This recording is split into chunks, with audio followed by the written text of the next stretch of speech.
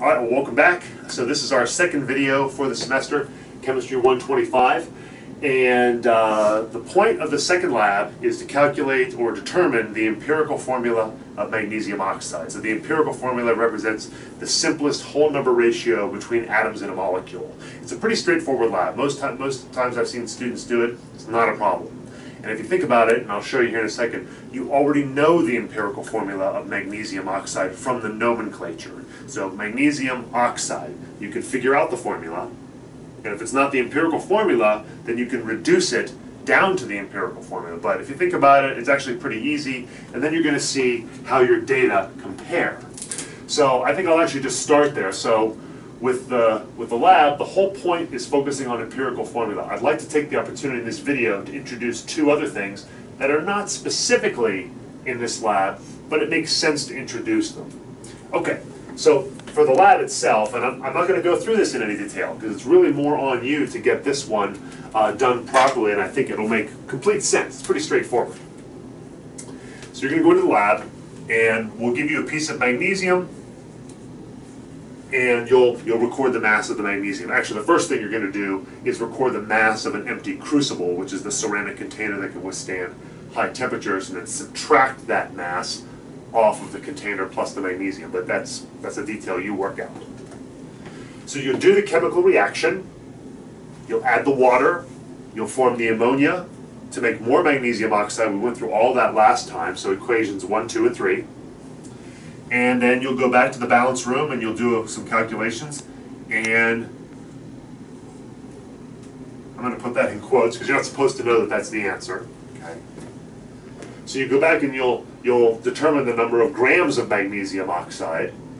Okay, that's fine. So the mass of the one of the reactants, the mass of the product, and from that information you can deduce how much oxygen was actually pulled out of the air. Now, we didn't add the oxygen directly, it's just present. And as much oxygen as necessary will be pulled out of the air uh, to do the reaction. Well, that's fine. Now you're, now you're kind of home free because the whole point is to figure out what is the empirical formula of magnesium oxide. To do that, you'll need to calculate the moles of magnesium. To go from grams to moles should be pretty straightforward by now. Use your conversion factor, your atomic mass, molar mass of an atom, okay? Uh, you'll get your moles of O2, and then you'll use the mole information to determine the simplest whole number mole ratio that makes up magnesium oxide, and that's the empirical formula. So it's a pretty straightforward lab. I don't think you'll have any trouble. What I'd like to do today, actually, is to take this reaction or this idea one step further, kind of look at a story problem. I really don't remember how much magnesium we're going to give you. I'm pretty sure it's not uh, six tenths of a gram. That would be a big piece of magnesium. So it's much, much smaller than that. But I'll still carry four significant figures because that's what our electronic balances can do. So let's say you take a, a 0.6001 gram piece of magnesium, you go through all the steps, equations 1, 2, and 3, and you form magnesium oxide. What would be the theoretical yield of magnesium oxide? Now, what does that mean? Theoretical yield is, well, in theory, using chemistry, using theories that we assume to be true, how much magnesium oxide should form. It shouldn't be random. We should be able to figure this out. And you remember this from last time. It's two magnesium atoms or two moles of magnesium react with one mole of oxygen uh, usually if the coefficient is 1, we don't bother to write it. Sometimes it's confusing. To yield, thus theoretical yield, 2 moles of magnesium oxide. Now remember, the, the coefficients are mole ratios, so maybe I should put it there for now. 2 moles of magnesium only requires 1 mole of oxygen. 2 moles of magnesium, if it reacts completely, will produce 2 moles of magnesium oxide if you wish to produce two moles of magnesium oxide, you will need a mole of oxygen and two moles of magnesium. So you read them either way, but the bottom line is they are conversion factors. Mole bridges, some people call them, uh, however you want to call them. Okay, so you'll have your own style for doing these problems. I'm just going to give you a suggestion. What I like to do when I do these problems is I just do bookkeeping because I think it's faster. Is I know I'm starting out with 0.6001 grams of magnesium, and I know I'm going to need some information about magnesium. I know I'm going to have to do something with moles because that's what we do in chemistry. When you don't know what to do, take what you're given, in this case you're given grams, and convert it into moles somehow. And in this case, my periodic table is 24.301 grams of magnesium per mole, just so I have it there. Probably not necessary to do this for this simple problem. We get into more complicated problems, this is a good bookkeeping procedure. I've got my mass and my molar mass right there. The question asks nothing about oxygen. It doesn't ask how much oxygen is required, it doesn't ask how much oxygen is left over, it doesn't ask anything. Well, why? Because we have excess oxygen. There's more oxygen than we need. And oftentimes, when we do a chemical reaction, we'll put one chemical in and then add a significant more amount than the other one that we need. This is getting ahead of ourselves. Magnesium is called the limiting reactant. Oxygen is the excess reactant. We didn't measure it, it's just excess by nature because it's in air. So if you want to label this, this is the limiting reactant, this is the excess reactant, and our goal here is to figure out how many grams, that's the theoretical yield by the way, how much mass So what are the units on theoretical yield? 99 times out of 100 it's grams. Okay. And I'm probably going to need the molar mass of magnesium. Let's see, so that's uh, 24.305.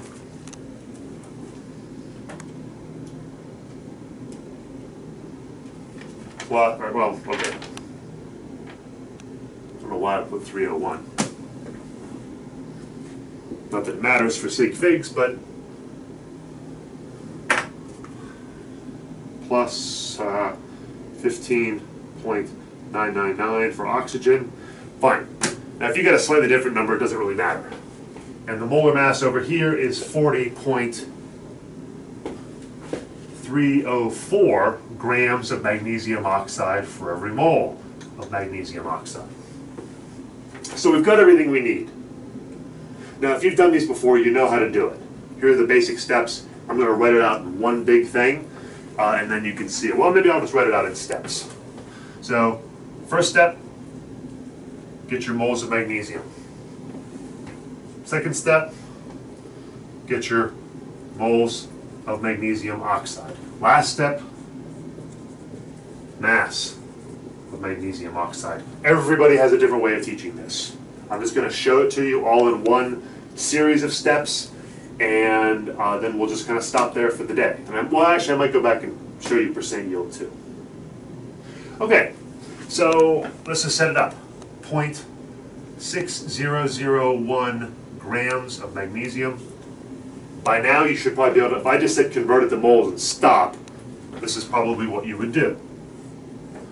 You take the molar mass and put it in the denominator.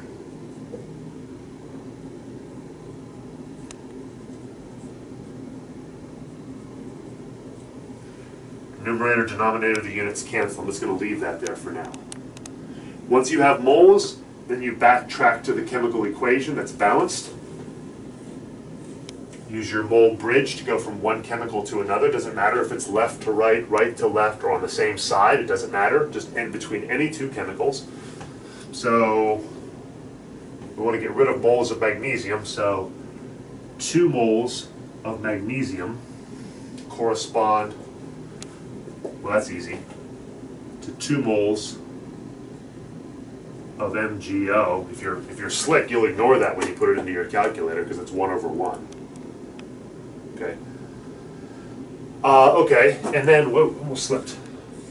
And then you want to go to mass of magnesium oxide, so we know that a mole of magnesium oxide is 40.304 grams. And I'll put grams of MgO. Sorry, kind of small there. All right, when you start when you start to do quizzes and tests, you want to be efficient. So if there's steps you can ignore, ignore them. Okay. So the math is going to be 0.6001 times 1. Well, ignore that because it's 2 over 2 times 40.304 divided by 24.305. That's just putting it in your calculator. That's not showing that you understand what's going on. That's just getting it properly in there. So what I got, and oh, sig figs, these are all exact numbers. We don't have those affect the sig figs, so we want 4 in our answer. So I'm going to get times 0.6001 equals this divided by 24.305 and rounding it 0.9951.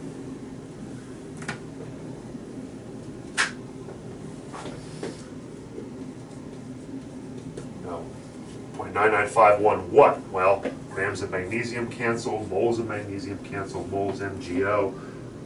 These are the units. Grams of MgO. So that's our theoretical yield. Now it's also good sometimes to look and say, does that answer make sense? Because some students, I think, are some, if they think about it, are a little thrown. I started off with 0.6 grams. I ended up with almost a full gram. How does that work? Oftentimes, like a chemical reaction, I'm burning something, it should get smaller. Well, in this case, it's not getting smaller. In this case, it's getting bigger. You're taking an atom of oxygen, combining it with magnesium. So the molecule is getting bigger. So it makes sense that the mass is bigger. Okay, so that's the theoretical yield, 0.9951 grams. The last thing I want to show you is pretty easy. Is, well, let's say you go to the lab. Uh, yeah, I really should have labeled this. So we'll call that um, part A. That was part A. So part B,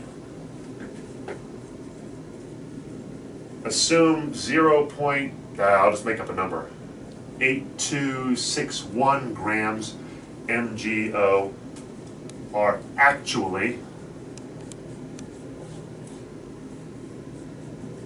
collected in your lab. Okay, so you didn't do the reaction perfect. Some of some of the MgO escape because it's very fine particulate matter. It looks like smoke because I guess technically it is a type of smoke. So you lost some of it. Maybe you spilled some of it.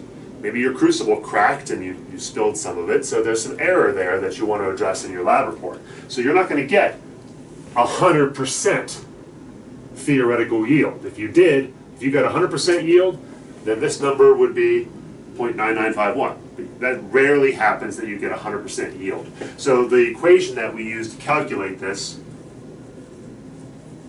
is not theoretical yield, but percent yield. And there's different ways of writing this, but it's basically the same thing.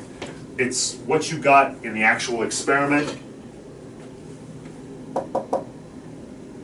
divided by your theoretical yield. That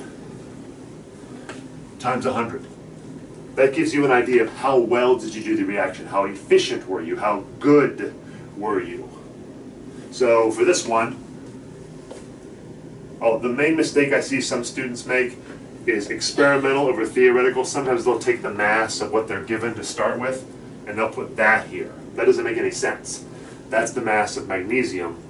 If you're doing percent yield, you want to always be thinking about the product, what's yielded, not what's reacted. So 0.8261 grams divided by 0.9951 grams. As opposed to make that point, it's grams of magnesium oxide over grams of magnesium oxide. Because if you're calculating a percentage, the units have to cancel. Percentages are unitless numbers.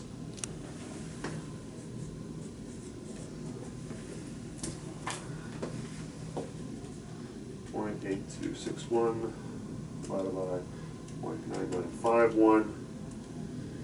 And I'll do the, let's say, let's go 4 sig figs, 83.02.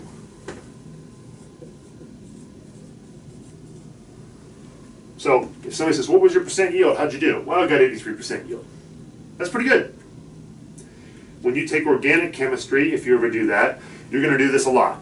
You'll, you'll do a chemical reaction, you'll calculate a percent yield, and you'll comment on what sources of error did you have in making a slightly more sophisticated molecule, but it's the same basic method. And I think that's it. That should be plenty to get you started with this lab. So I hope that was helpful, and we'll see you in lab.